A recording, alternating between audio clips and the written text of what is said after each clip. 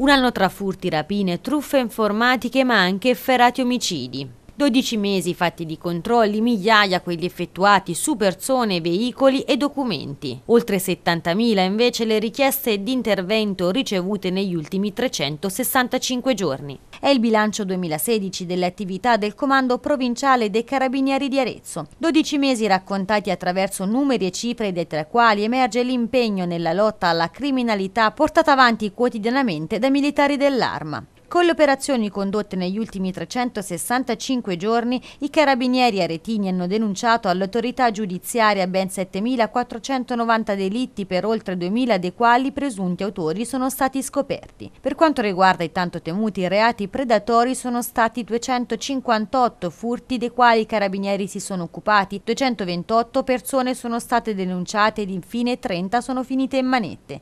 Tantissimi servizi svolti anche per il controllo del territorio e per il contrasto dello spaccio di stupefacenti, operazioni che hanno portato all'arresto di 87 persone, alla denuncia di altre 75 e al sequestro di ingenti quantitativi di stupefacente. Un totale di 33 kg e 580 grammi di sostanze sono state eliminate dal mercato. Infine nel corso degli ultimi 12 mesi due sono stati fatti di cronaca che in particolar modo verranno ricordati l'omicidio di Katia Dellomarino, delitto per il quale si trova in carcere il 24enne san giustinese Peter Polverini e quello di Dino Gori, ucciso con una fucilata al petto dalla moglie Paola Marzena, in carcere dalla sera dell'omicidio. Di entrambi i casi si sono occupati militari dell'arma.